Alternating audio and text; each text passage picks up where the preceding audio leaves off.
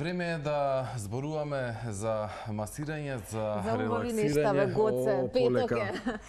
Јас едва чекам да поминат овие десетина минути, Да. не за друго, Да се- само заради масажата која што ќе ја добиеме јас и Гоце, ама ќе ми биде задоволство денеска со Владко Милчевски и со Александра Божиновска да зборуваме за една успешна нивна приказна.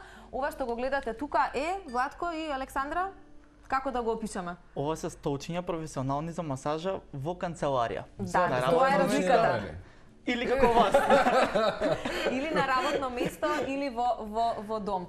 А, затоа што вообичаено нели столчињата за масаж изгледаат поинаку, затоа да не им биде чудно на гледачите, дека нели може ако сакаат и во домашен простор или ако се на работа за време на пауза, сема, само треба да ве повикаат за да им го возможите задоволството. Како започна вашата супер приказна?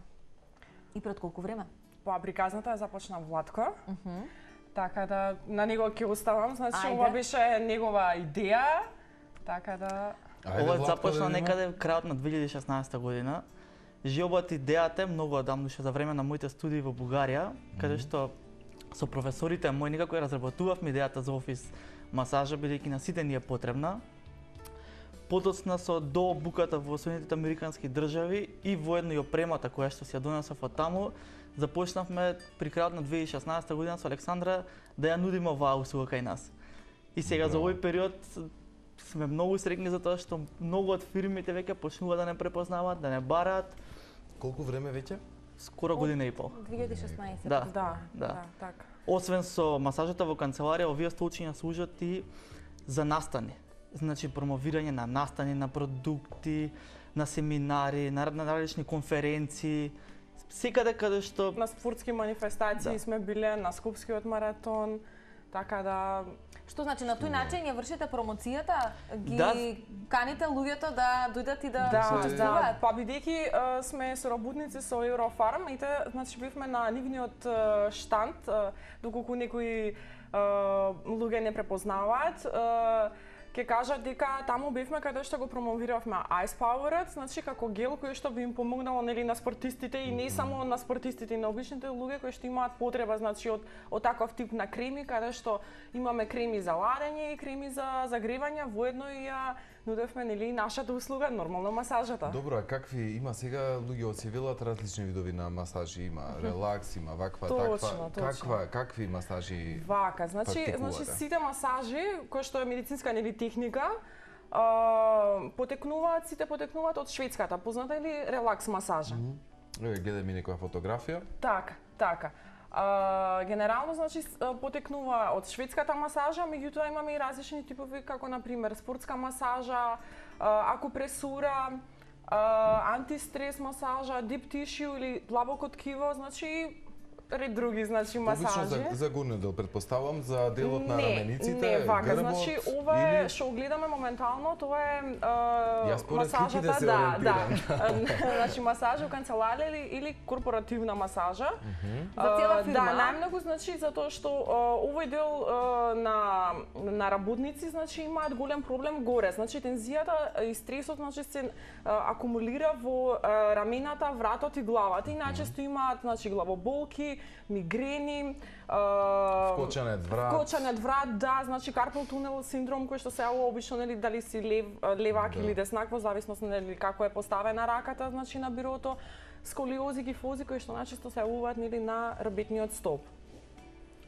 Така да тоа е тоа Често во луѓето имаат некоја замисла дека можеби масажа е некој луксус и дека не знам, еднаш во месецот треба да си ја дозволат, некои за жал дури размислуваат еднаш во годината и слично. Меѓутоа од а, здравствен аспект и тоа како е добре дојде на масажата, затоа што има многу големи бенефити, вие споминавте за што се може да биде корисна или што се може да превенира во во друга насока. Каков е интересот? Колку луѓето кај нас се свесни дека треба да си дозволат масажа, макар за релаксирање, за опуштање на мускулите, на телото, после една напорна работна недела. Еве едно видео, еве Александра, види. Види како работи. ова, ова ни е во CMX Solutions, call center, каде што за третиот ројендан на вработените им, им поклонија масажат текот на целото работно време. У, добра така да постојувам. Во однос на вашето прашање, значи а менталитетот веќе културата е на се поголемо и поголемо ниво во однос на масажите. Луѓето се почесто се одлучуваат да се масираат, освен во домашни услови, исто и во канцеларија. Масажата е само, она што го набројавме, само дел од она што подпомага за целиот мускулен систем, за имунитетот. Владко, ќе ги измасирате на работа, како после ќе се вратат на работните обврски или со поголем елан? со поголем мелан, да, студиите така покажуваат дека со само 15 до 20 минути, значи, ваков тип на масажа, значи во канцеларија, се намалуваат главоболките, стресот, поголема жилба и енергија нели на работникот за да работи затоа што нели така осеќа дека тоа е добар работник, односно добро си го сработил своето и како награда од страна на компанијата, значи Од работодавачот. од работодавачот, точно така. А, значи им пружаат а, малте не а, задоволство, тоест тоа е win-win, значи од двете комбинации каде да, во текот на а, денот. работникот е задоволен, а, А со потоа и мотивиран. тоа, да, мотивиран е работникот за да има повеќе работа, така и компанијата има поголем Бенефит, бенефит, да. да, од него. Се сложувам. Да, е, што го тоа. може би, може би ете некои така и размислуваат. А предпоставам дека се зголемува бројот. Да, значи бројката е се, се поголема, а, затоа што нови сме, нели, а, потребно е време, каде што ќе не дознаат нели повеќето компании кои што сакат нели те да вложат а, а, вложуваат да, вложуваат мал дел нели во во нас, тоест во нивните работници за да може после тоа да им се врати за поголема работоспособност нели од самиот работник, а воедно и ќе се намали нели оној она отсуство на на работникот каде што заради болест, значи мигрени, нели Да. разни други медицински проблеми и ќе има поголем бенефит со тоа што ќе има повеќе работни За часови. кого има повеќе работа сега? Владко, ти повеќе дамите ги масираш колку одиш на, на, на терен на Александра момчињата или како сте? Каква ви е поделбата? Тука нема правила. нема итење, нема правила. Едноставно, како нашите бизнис. клиенти да сакаат, меѓутоа сите вистински љубители на масажата не двоја дали е машко или Да. женско, едноставно Битно да сакаат професионална И да услуга, го знае, да, да знае притисокот. техниката. Да. Знаат Да што е добра масажа без разлика од, од кого е дадено. Да. Владко спомена дека си имаш школувано во Бугарија. Предпоставувам и дел од идејата е од тие простори. Како функционира овој тип на нудење ваква услуга на Балканот?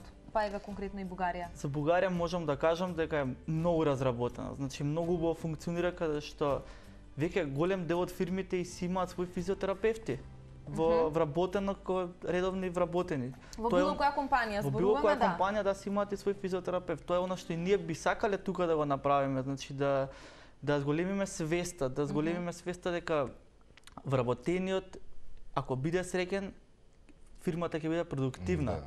Така да Се надевам дека не гледаат никои така директори, собственици на јаки компании за да знаат што треба понатаму. сега го Како да среќен работник и задоволен и продуктивен. Продуктивноста е нај, најбитната работа и отсутност од работа, како што кажа Александра, се намали.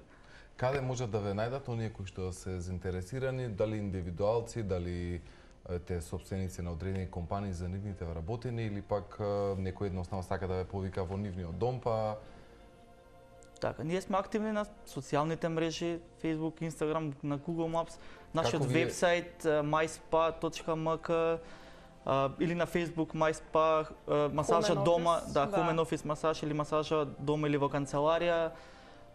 Слободно, секој што е заинтересиран може да се јави, да закаже состанок, да им презентираме за квалитетот, за удобноста на масажата која што ние ја нудиме и целата услуга.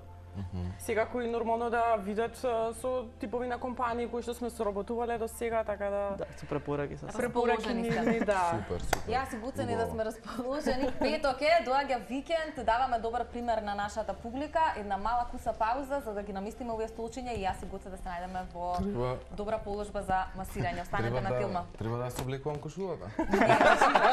Мала пауза.